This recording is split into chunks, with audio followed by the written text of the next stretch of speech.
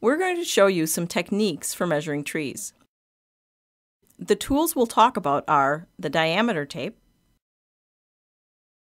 the 100 foot tape, and the Biltmore stick, which is actually several tools in one. The tree scale to measure the diameter of standing trees, the Merritt hypsometer to measure the number of 16 or 18 foot logs in a tree, and the log scale to measure diameter of cut logs, which we won't do in this video. Let's start with measuring diameter. Regardless of the tool you are using to determine diameter, it is always measured at 4.5 feet above the ground. That's referred to as diameter at breast height, or DBH. Use the 100 foot tape to find 4.5 feet above the ground. When you use the Biltmore stick to measure both diameter and height, the stick should be held 25 inches from your eye. The calibrations on the stick are made assuming this is true. If you don't hold the stick the correct distance from your eye, your measurements won't be accurate. If you need help determining where 25 inches is, you can use a tape measure or the log scale side of your Biltmore stick as a reference. This works because the log scale is a direct measure of inches and not a calibrated measurement like the diameter markings are. Put your thumb on the 25 inch mark and carefully hold the end of the stick to your cheek below your eye. Without moving your arm, turn the stick so that you can get an idea of how it feels to hold the stick at the correct distance from your eye.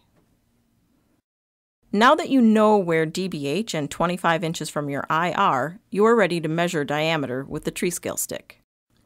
Hold the Biltmore stick against the tree with the tree scale side facing you.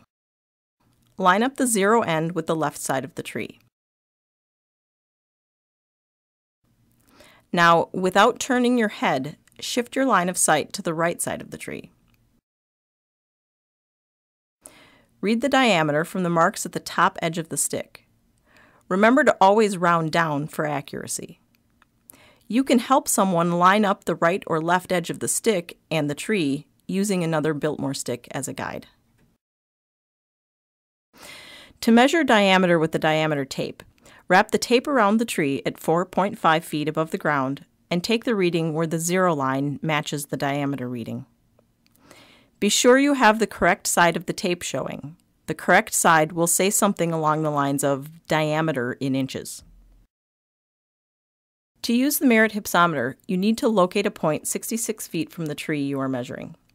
Be sure you can see the top and bottom of the tree from that point. It will help later. Using the 100 foot tape, measure out 66 feet. Be sure you pull the tape so that it is straight.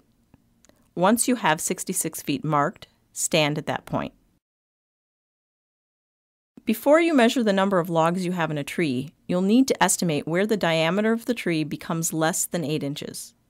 A trick that can help you is to use the hole drilled into the stick as a gauge.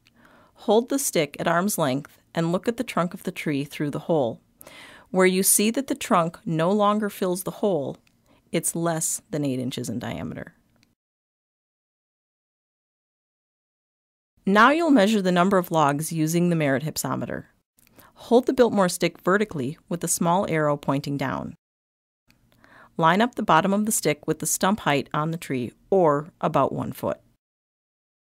You may want to pair up with someone else to be sure you are holding the stick plumb. To see why, intentionally hold the stick at an angle and see how different your measurements are. Using one eye, read up from the bottom of the stick to the closest 16 foot log mark where the tree is 8 inches in diameter round down for accuracy.